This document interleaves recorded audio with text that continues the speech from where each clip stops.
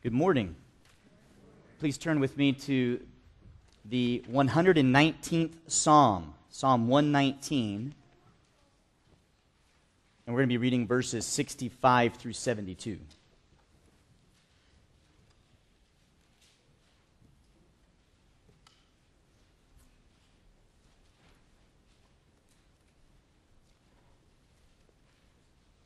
Psalm 119, begin with verse 65. You have dealt well with your servant, O Lord, according to your word. Teach me good discernment and knowledge, for I believe in your commandments. Before I was afflicted, I went astray, but now I keep your word. You are good and do good.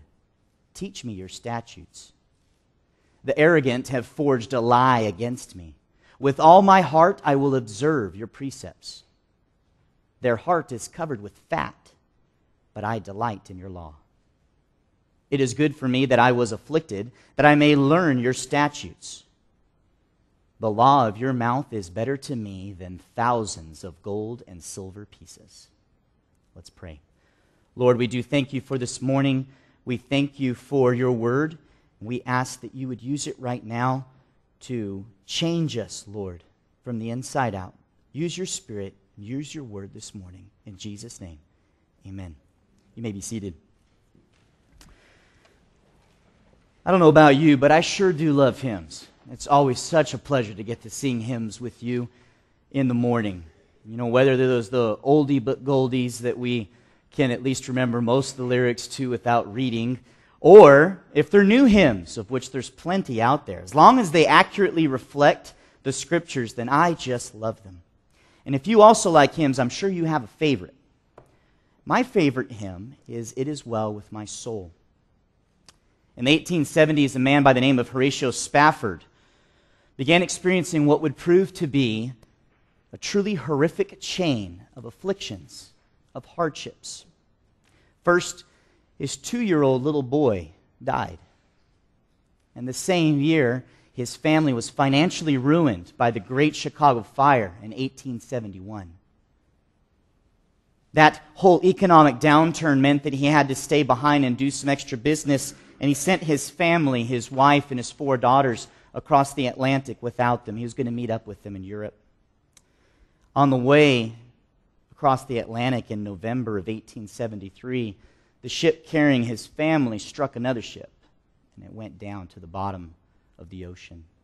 He got a telegram from his wife, and it said two words saved alone. All four of their daughters had died at sea. Spafford took the journey to meet his wife, and on the way, while he was on that same ocean where his four daughters had died, he wrote the six verses and a refrain which later gained the title, It Is Well with My Soul. He didn't write a depressive song about how he felt having lost all of his daughters and his son two years before. Nor did he complain or even lament their deaths in the hymn. Instead, he wrote, When peace like a river attendeth my way, when sorrows like sea billows roll, whatever my lot, thou hast taught me to know, it is well, it is well with my soul. And he understood loss, I think you can agree, more than you or I can really imagine. You know, even after this, they had more kids. He lost another little boy at the age of four to scarlet fever. On and on, Horatio Spafford went through this loss, heartache, hardship, affliction, became a way of life for him. Wouldn't you like to be able to respond to hardships the way this man did? Wouldn't you like to be able to hold it together when loved ones get sick or die?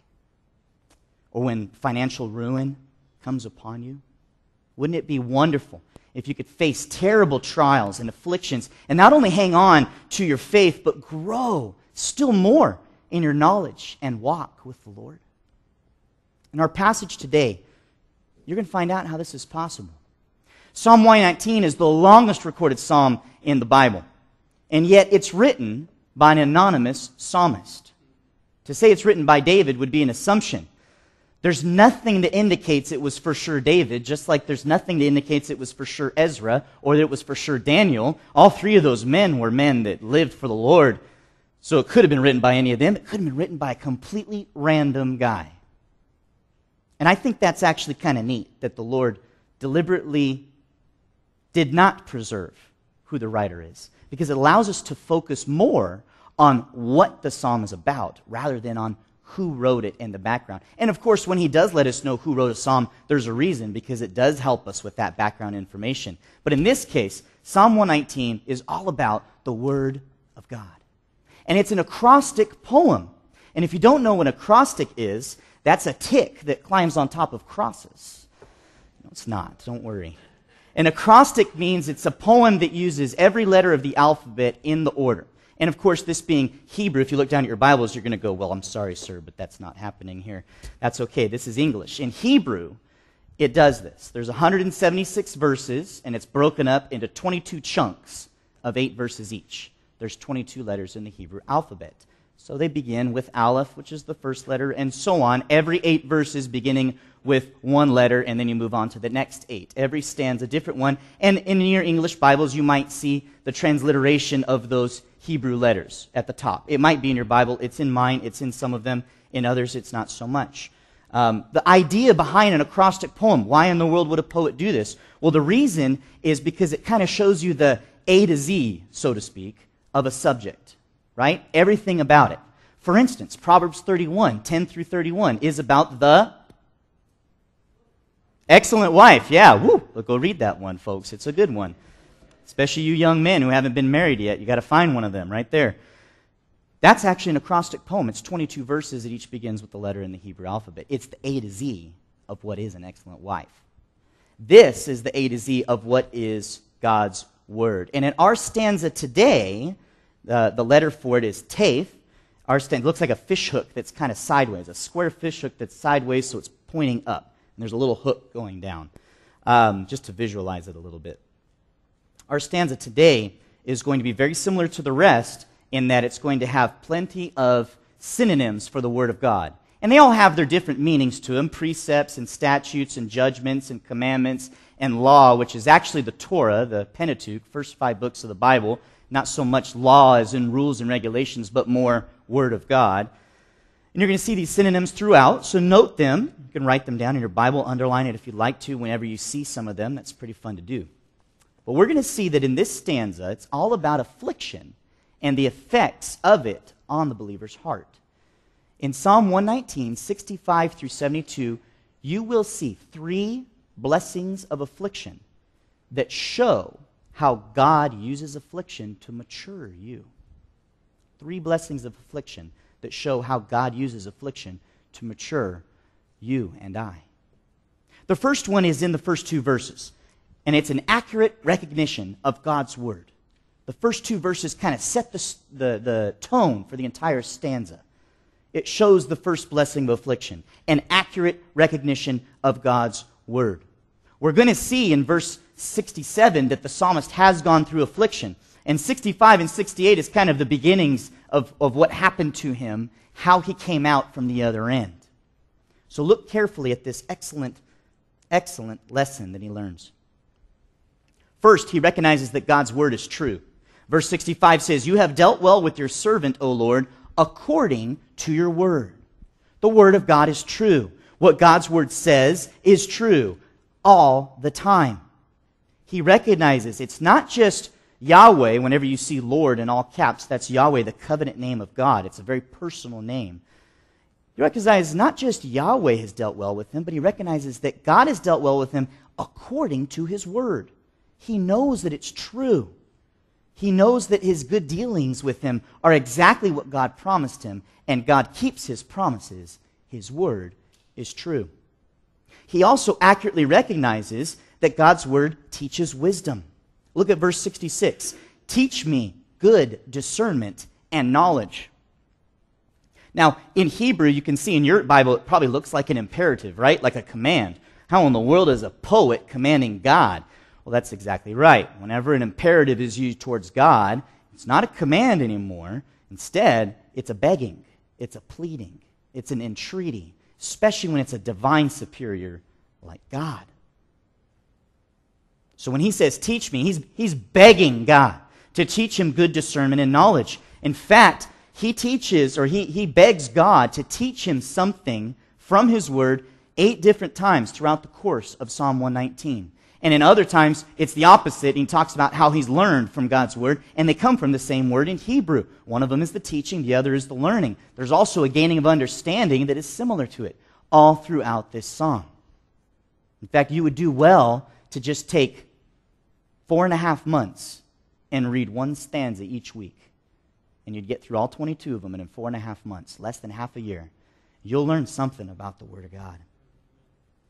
And, and he talks about this teaching, but how does the Lord teach us? How does he do it, church? By his word. Yes? It's already here. It's already done. It's by his word. He's not going to send an angel down to teach you. He's not going to give you a dream or a, a, prophet to come up and say that God gave me a new word for you. No, he's going to give us his word, and then he's going to use, raise up men to help explain it, and then, of course, grow you so that you will understand it more and more. The psalmist knows that the Word of God is what gives us discernment and knowledge. Knowledge refers to knowing the truth about God, man, life, creation, the future, how we ought to live. Discernment here, some of your Bibles might say judgments, and that's because it's the same word. It's the same thing, the same idea. But don't confuse it with the way that the world uses the word judgment. The psalmist is not begging God to teach him how to arrogantly judge himself better than others. That's how the world, they, they hear the word judge and they automatically think that. No, that's just one way to judge, and it's a wrong way to judge. The right way to judge is like when you're driving down the freeway and you look over to the lane and you judge whether you should turn into that lane or not. It's making a decision. It's deciding, is this right or is this wrong? Should I do this or not? What would the consequences of this be? Discernment is like wisdom. It is the right application of knowledge in our lives. Judgment, discernment, discerning the ins and outs of living a godly life. And God teaches us how to rightly judge or discern whether, for instance, those who are proclaiming to teach God's word are actually preaching his word or they're preaching false doctrine. He uses God's word to teach us how to discern whether a thought or a word or an action of ours would actually be pleasing to him or whether it would grieve the Spirit. He uses God's word to teach us spiritual maturity necessary to actually apply the knowledge that He's giving us, the knowledge that He has given us, to our lives. So he's accurately recognizing that God's word is true, that God's word teaches wisdom, but then he also accurately recognizes that God's word is trustworthy. And that's in the rest of verse 66, right? He says, Teach me good discernment and knowledge. Why? For I believe in your commandments. There's a trust there. Not only is God's word true, but it's so true and so pure and so inerrant that you can actually trust it. You can bank your life on it. It's a foundation for you.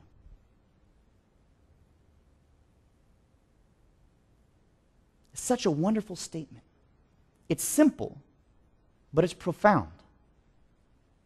The words contained in this book can be counted on.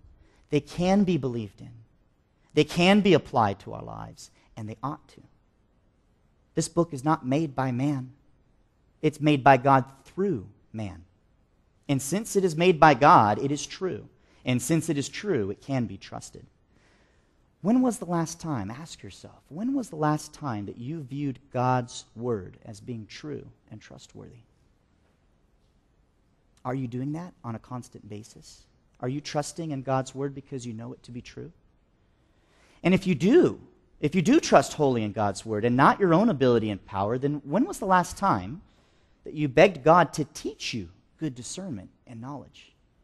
Not just a cursory one minute question in a prayer, but actually begging Him to teach you, to override our human frailty and teach us His word. When's the last time that you actually pleaded with him, as the psalmist does, to allow you to rightly understand his word, both on an intellectual level, but also on an experiential level? To not just know what the words say, but to rightly live them out. If you're receiving some sort of affliction in your life right now, some level of suffering, or you just went through some, and if that's not the case, then get ready because some's coming towards you. The reason may be because God wants you wants to cause you to become like the psalmist and accurately recognize his word to be true, to be one that teaches wisdom, and to be trustworthy.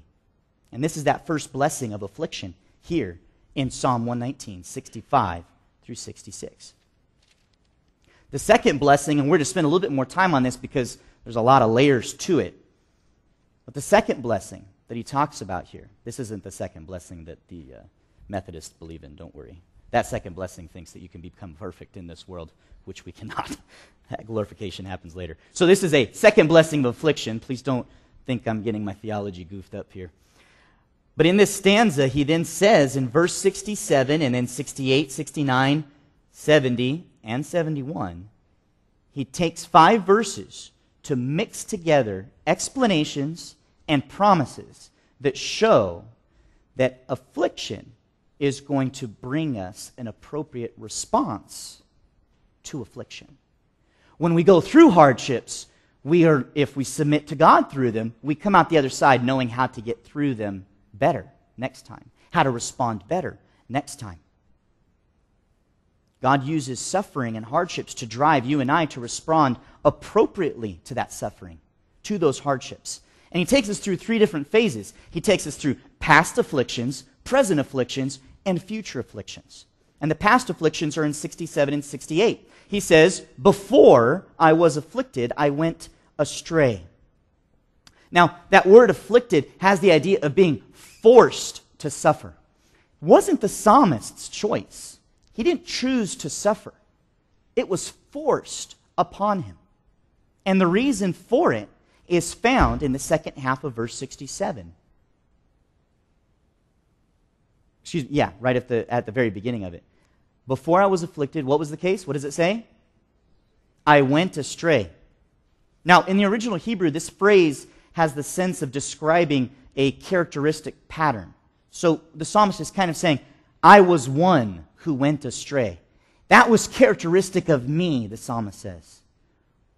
That was characteristic of me. I was one who went astray. Before he ever became afflicted, the psalmist had the characteristic of going astray.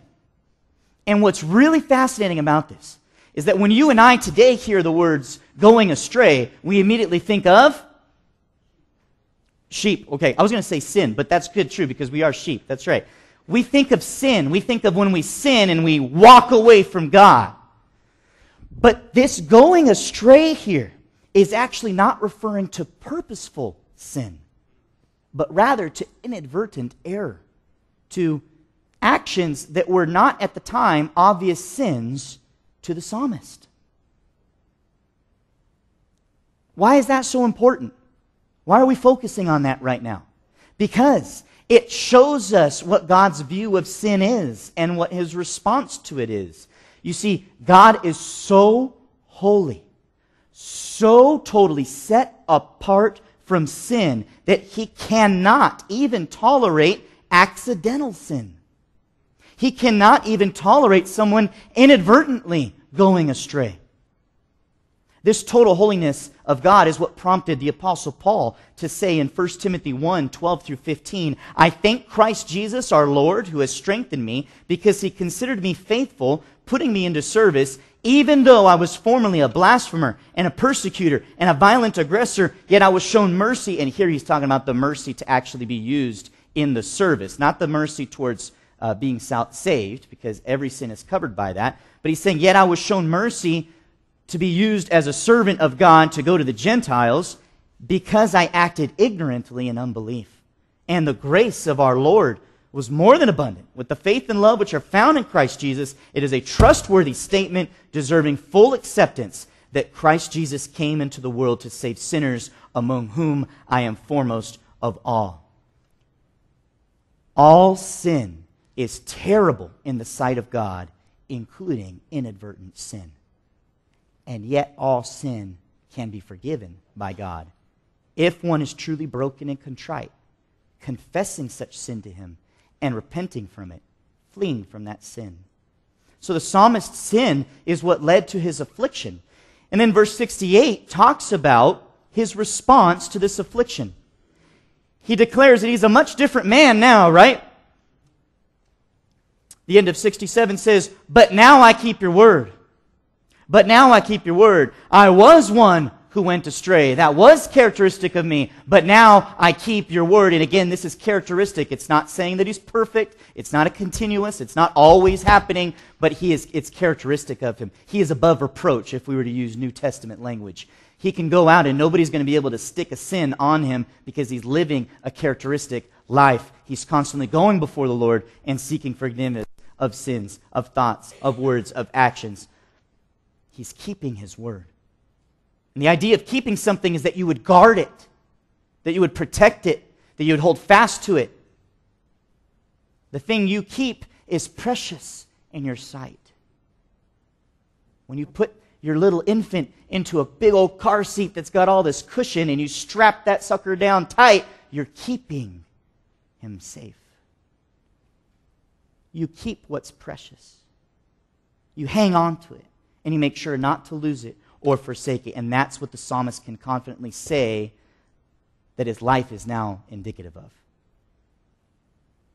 The psalmist repented of going astray. There's no other way that he could now say, But now I keep your word. He repented of going astray. God showed him grace such that he confessed and fled his sin and is now in a right relationship with the Lord. And when he looks back on that affliction, he declares his repentance, his refocus on the Lord. He looks back and he praises God in verse 68. You are good and do good.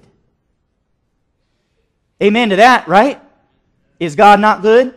Does he not always do good? He sure does. He doesn't complain. The psalmist doesn't complain about the affliction. He doesn't try to find a way around it. He doesn't, you know, just stand his ground and unmoved to, to repentance by the affliction. He doesn't try to argue that he didn't deserve it in the first place. No. He declares to God, You are good and do good. And he's making a contrast between himself and God because he uses the same type of structure in Hebrew that he just said, I was one who went astray. That's what I was, that's what my life was characteristic of. It's the same thing here. It's you are good and one who does good. One who does good. That is characteristic of God. And in God's case, it is continuous because he is unchanging. He is holy and unfailingly so. The psalmist contrasts himself with God. His appropriate response is to repent from that affliction, to praise God for that affliction, to snap him out of that sin, and then to next ask him that he would teach him more. He begs God yet again. The end of verse 68, he begs Yahweh to teach him his word, to teach him God's statutes. Psalmist knows he can't just move on from this experience and forget what he's learned. He can't just once again try to live life in his own understanding and might. He must keep coming back to God's Word to continue to grow and mature spiritually. We see now that he is dependent on the Word of God. And this continues to the present life of the psalmist. 69 and 70 is the present life of the psalmist. Look what he says. The afflictions didn't end, did they? The arrogant have forged a lie against me. Boy, I love the language used here. Because forged is maybe a more antiquated word. The idea here in the Hebrew is a smearing. A smearing. You guys all know what it means to smear something. Like taking paint and smearing it all over a fence.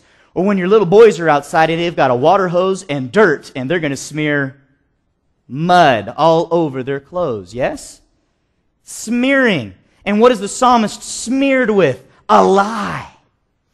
They're painting a lie on him. These arrogant, prideful, sinful, evil men are painting a lie on him. They're slandering him. They're smearing him. Do you know what that feels like? Have you ever had someone smear you with a lie? Look at the psalmist's reply. The arrogant have forged a lie against me. And the next part doesn't even need the word but. That's why it's not there. Because he is so different now that he's repented and he's walking right with the Lord. He's so different from them that he can just say, you know, the arrogant have forged a lie. They've smeared me. With all my heart, I will observe your, pre- your precepts. That's what they're doing. I'm over here. I don't even have to tell you, but It's so completely different. Yes? If you were to say my favorite color is blue, you don't then have to say, but, my, but, but I don't like red. Obvious. Your favorite color is blue. They're totally different. He's saying that, that he's going to promise to observe the precepts, that he will obey God's word. Again, no complaint there. Do you notice that? He's not asking that, that God would end the affliction quickly. He just says, That's what they're doing, but God, I promise to observe your word. And then he switches back to describing them some more in another so good phrase, so good phrase. When I read this, I'll bet your minds went, What in the world? And that's what I said. Their heart is covered with fat. What in the world does that mean? Do these guys need to uh, lay off the bacon and mayonnaise? Is that what's going on here? You know, hey, maybe. He's not saying that that's not the case. There were definitely very corpulent men in uh, ancient times as well. But that's not the point of what he's saying. This is a, a Hebrew metaphor, an idiom, for describing someone who is unthinking and unfeeling. If you've ever worn one of those sumo suits before, I did so one time in high school against my principal, and that's a story for a different time. But if you've ever worn one, you know that someone could come up to you while you're wearing this sumo suit and they can just haul off and sock you as hard as they can in the gut. And if you really, you know, weren't, weren't looking at them, you wouldn't really notice it. You wouldn't really, not only did it didn't hurt, but even more so, your, your, your mind's not even focused on it. Whatever. Not a big deal. That's the same idea here. See, these slanderous, lying men had fat around their heart. And in Hebrew, the heart is the seat of consciousness. Okay, same with Greek, actually. So when you're reading the Bible, if it says heart, it's talking about thinking. And if it says, you know, emotions, it's talking about the bowels, which is where the seat of emotion is. That's where you get the, you know, the butterflies in your stomach and you get all the stress and everything. That's, that's why they called it that. That's the seat of emotion in their way of thinking. So when he says heart, he's not talking about the unfeeling part so much. It's more that they don't even care what harm they're causing him. They don't even think about it. They just do it. They got fat around their heart. Their mind has been seared to the point that it's just cushioned from what they're doing. But again, look at the contrast here. And the but is added. Again, there was no but in the Hebrew. The English authors just wanted to make sure that we understood there was an aversive. It's probably not necessary because their heart is covered with fat. I delight in your law, in your Torah, which was an idiom for the Bible.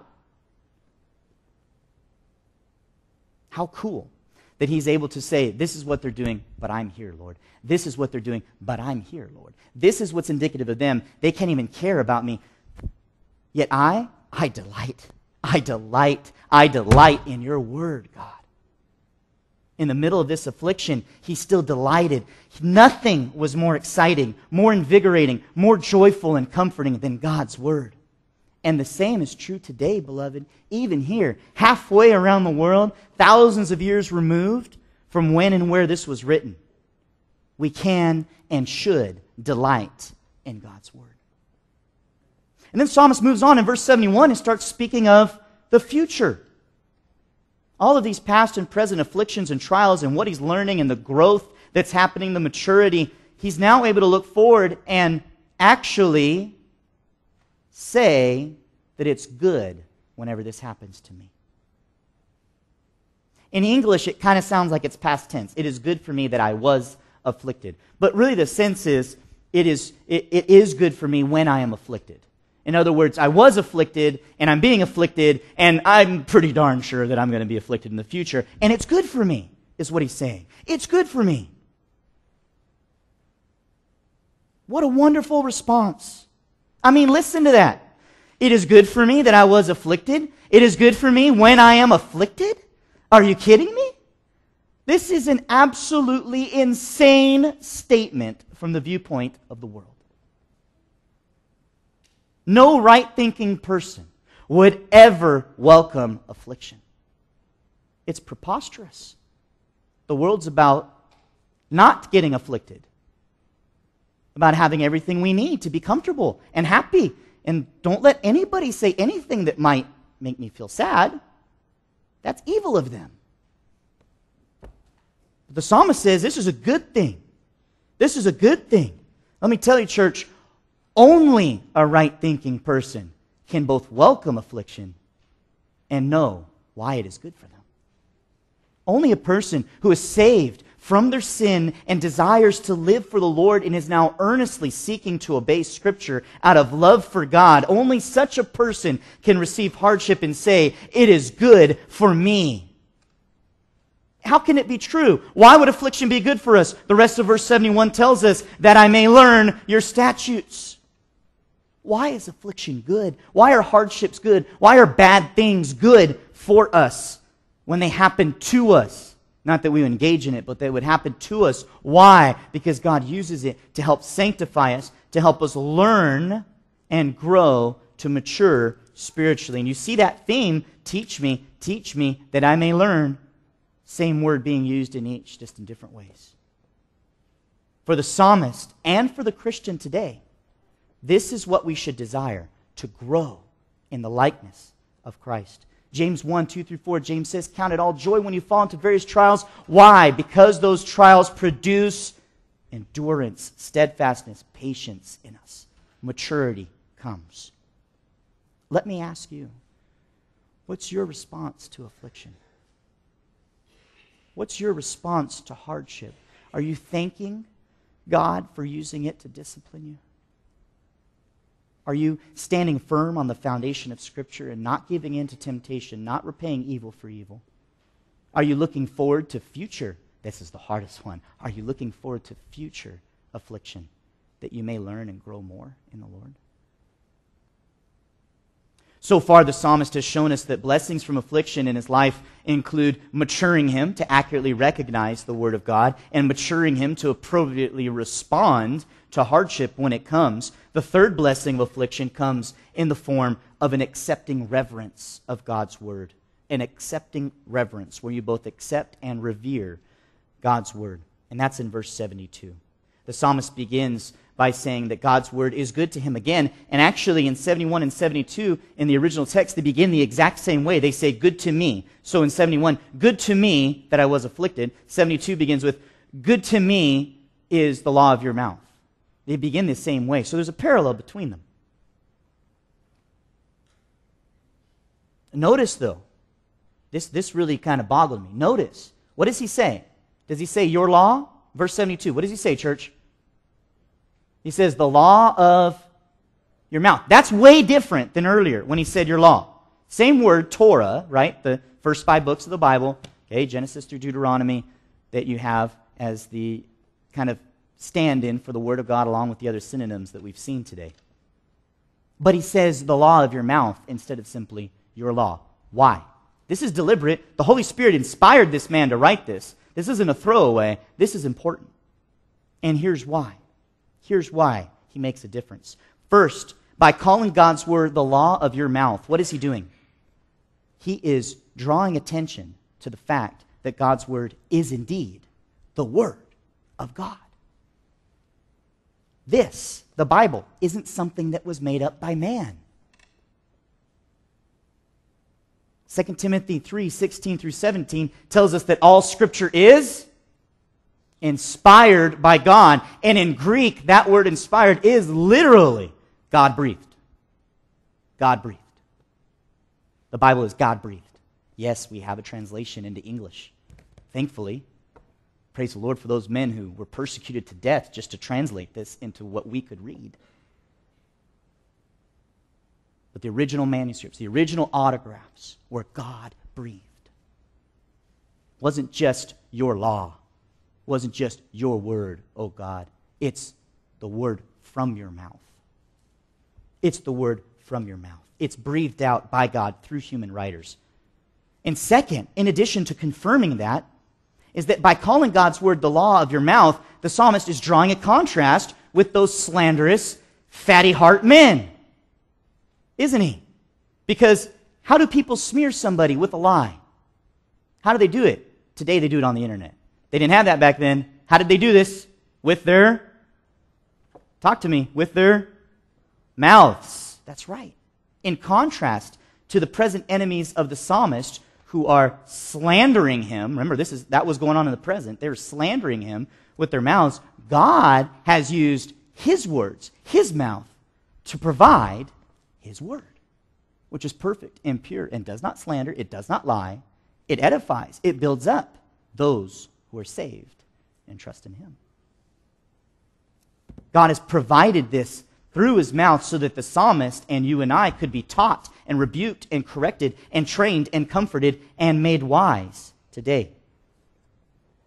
And the rest of verse 72 shows how much the psalmist truly treasures God's word, right? I mean, when you say that the law of your mouth is better to me, so it was good to me is your law, even more than, okay, so the law of your mouth is better to me than thousands of gold and silver. That's like all the money in the world for them back then. He's saying that, that God's word is so good to him that he considers it better than anything else. Nothing could be more valuable to this man than God's word. Tell me, do you, sitting here today, do you value the word of God like this psalmist? Do you not only think well of God's word, but also treasure it as this psalmist does? If anything, is more valuable to you than the Word of God. Is that true of you? If that's the case, I would urge you to reconsider your priorities. Don't place your priority on the things of this world. Rather, treasure God's Word. Treasure it in your heart. You know, when Horatio Spafford wrote that hymn, he really showed how God centered his view of affliction was. Listen to what he wrote, and remember, he just had all four of his daughters die, and two years before, his little baby boy two years old, die. Listen to what he writes. Though Satan should buffet, though trials should come, let this blessed assurance control that Christ has regarded my helpless estate and hath shed his own blood for my soul. My sin, oh, the bliss of this glorious thought, my sin, not in part but the whole, is nailed to the cross and I bear it no more. Praise the Lord, praise the Lord, O my soul. And Lord, haste the day when my faith shall be sight, the clouds be rolled back as a scroll, the trump shall resound, and the Lord shall descend. Even so, it is well with my soul. Can you say those same things today? Are you sure that Christ has shed his own blood for your soul? Can you honestly say that your sin is nailed to the cross and you bear it no more? Can your soul praise the Lord? Can you look forward to the day when Christ returns with joy and certainty, or are you unsure what will happen to you that day? A Christian is someone who has been saved by the grace of God alone, through faith alone, in Christ alone. A Christian is not somebody that marks a little dot on their papers that says, Yes, I'm a Christian. No. A Christian is someone who's been saved by grace alone, through faith alone, in Christ alone, period. And if that's not true of you today, then I would urge you recognize that you cannot save yourself from sin. You cannot. Confess your sins to the Lord. Repent, turn away from those sins before they drag you to hell for eternity. Trust in Christ's work on the cross to be enough to save you from your sin and be transformed by God through His Word and His Spirit. Do not delay. Trust in him this very day. And this peace and this joy and assurance and growth that the psalmist had and what old Horatio Spafford had will be yours this very day. And if you are a Christian, then the time for complaint about affliction and stress from affliction and arguing against it and wishing for it to end and defending yourself during it is over. Let us be like the psalmist, you and I, O Christian. Let us thank God for the blessings of affliction. Let us accurately recognize God's word for it being true, for it being what teaches us, and for it being trustworthy. Let us appropriately respond to suffering with humility, repentance, steadfastness, and anticipation for the sake of spiritual growth. And let us accept and revere God's word as the very word of God indeed. Let's pray. Father, we thank you so very much for this day. We thank you for the affliction that you send each and every one of us as a means of disciplining us and causing us to repent of our sin and turn to you. Oh God, we thank you for giving us your word, which tells us how to respond to such affliction. And we beg you, Lord, that if there are any here who have not responded the way that you have said in your word, they have not confessed their sin, trusting in Christ's work on the cross, and repenting of that sin, we ask that you would just regenerate their hearts right now. We pray that you would just have them stay around and talk to Pastor Albert about that. And Lord, for those of us who are in the fold, we know you've saved us. Please change us with what you've taught us today from your word. We thank you for your love and your mercy and your grace for sending us your Son, Jesus Christ, to save your chosen ones from our sins and to call the elect to you. And it's in his precious name that we pray. Amen. You may be dismissed, church. Have a great day.